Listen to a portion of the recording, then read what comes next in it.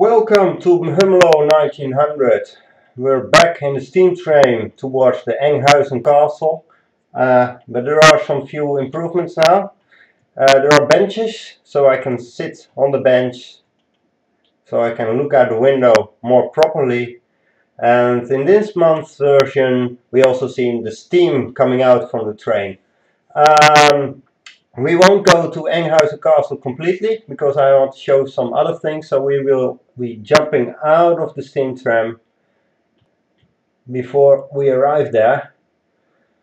So here you can see uh, we have shadows in the street and uh, although they look quite nice, uh, my computer is not good enough uh, to produce all shadows in the uh, street. You can also see that the steam tra tram is uh, emitting thick smoke uh, as steam trams and trains tend to do. Uh, makes it quite more realis uh, realistic. There are more trees in the street and I have two versions of them uh, right now. You see the the moving ones and the quiet ones. Uh, I have to still improve them, but it's it's better than it used to be. And if you look well, then you see a purple spot in, uh, in the street coming towards me.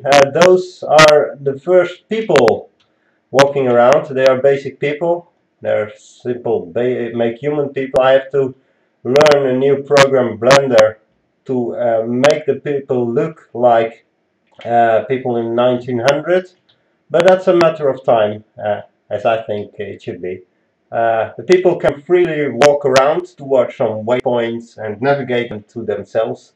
So uh, I think it's promising. It uh, will be getting interesting.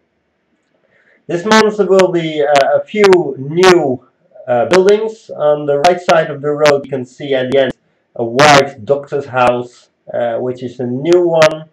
You can see it on the side. And in the far end, in the you can see there is a wagon shed and a dairy farm. It takes quite a while to get there. The steam train is not going there. But if you want, you can download the game and uh, or play it online and move there yourself. Uh, I hope you will enjoy it. Uh, uh, next month there will be a new video with improved uh, features. I think. So see you then. Bye.